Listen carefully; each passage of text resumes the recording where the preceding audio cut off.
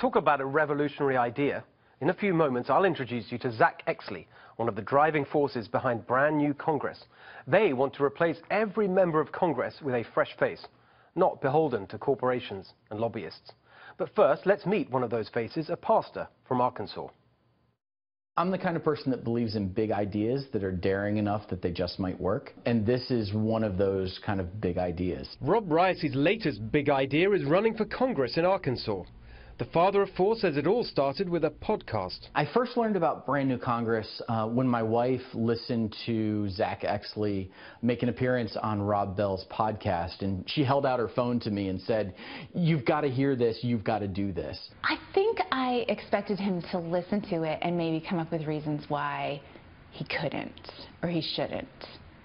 And I was really excited when he didn't do that. One day I was sitting on my back porch talking with a friend, and, uh, and my phone rang, and it was someone who said, hey, I'm from Brand New Congress, and you've been nominated to run for Congress. Would you be interested? He was interested, even though it meant running against the man he previously voted for, Congressman Steve Womack. Arkansas's 3rd Congressional District is a, uh, it's a bright red district. It's very likely that, that come November 2018, um, a Republican is going to be the representative from this district.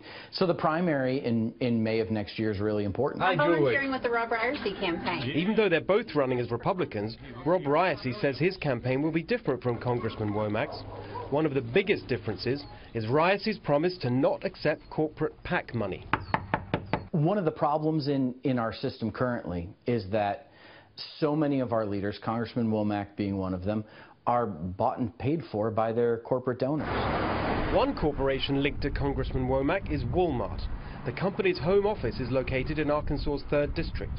According to the Center for Responsive Politics, Congressman Womack received over $160,000 from Walmart's PAC and the company's employees.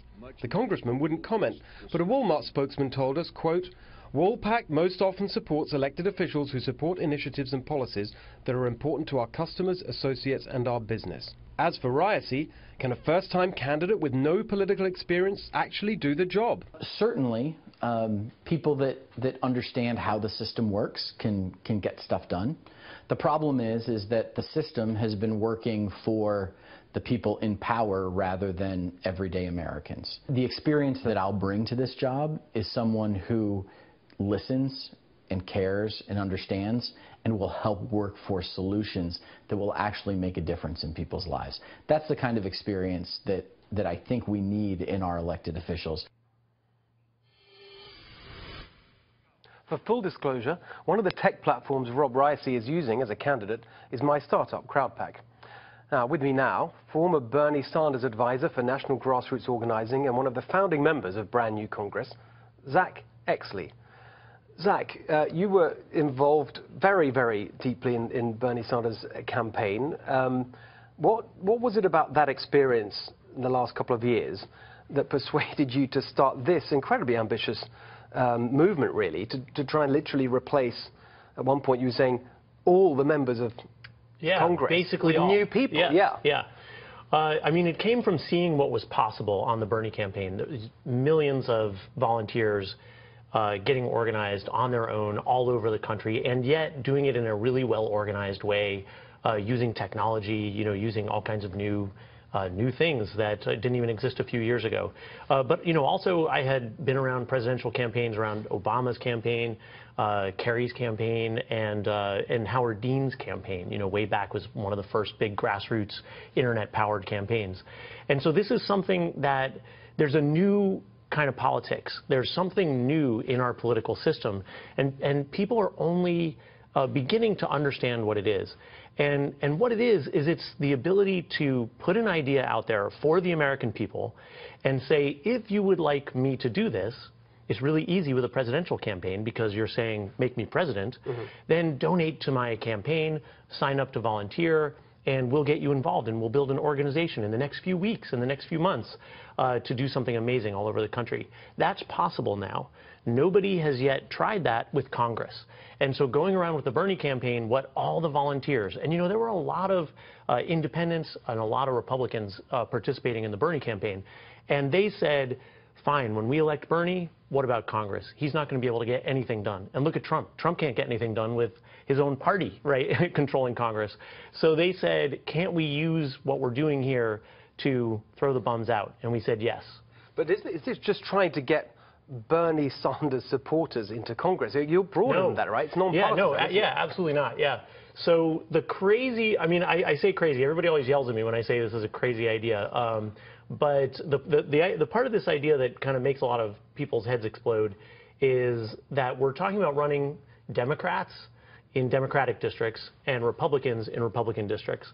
And, and here's the problem, right? It's not about, our problem is, is not Republicans versus Democrats. It's not that, uh, you know, Republicans don't have any ideas and Democrats don't have any ideas. The problem is that the entire establishment, and I, I mean, this is what your show is all about, i they have no idea what's going on in America. They're totally out of touch.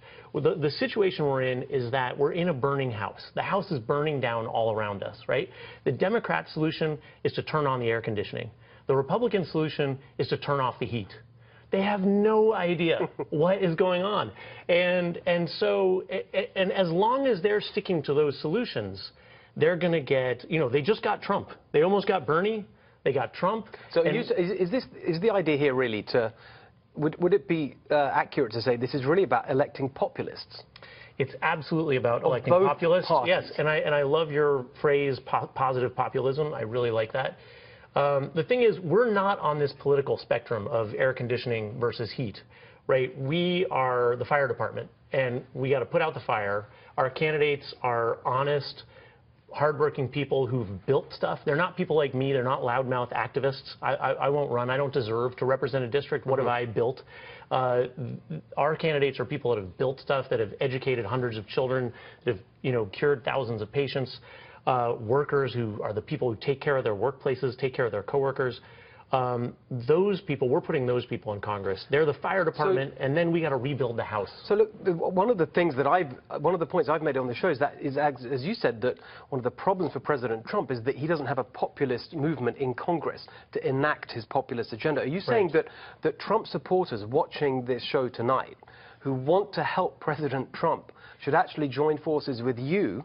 A former Bernie Sanders organizer and run for Congress as part of brand new Congress. Yeah, well, I'm going to be honest. If you, uh, if the reason you voted for Trump was to deport 12 million people, uh, you know, then you're not going to like brand new Congress. But if you want to rebuild America's means of making a living, if that's why you voted for Trump, because that's what Trump talked about, the media didn't cover it, but that was in his stump speech every single time he spoke to a stadium.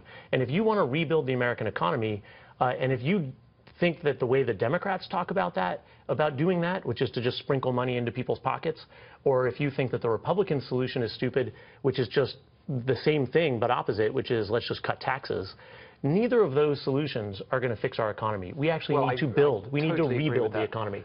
So then, then, so viewers should join. They should go to. Well, first they should go to Okay, Rob do the plug. and then we'll- 2018. We'll, we'll, yes, talk, we've got some more time to talk about Okay, it. Okay, good. Just do the, do, the, do the plug quickly. Well, you've got to go to Robb uh, 2018 with two B's, Robb with two B's, 2018.com, Robb2018.com, and just email uh, Rob at join at uh, Robb2018.com. Brilliant. We've got to leave it there for the moment.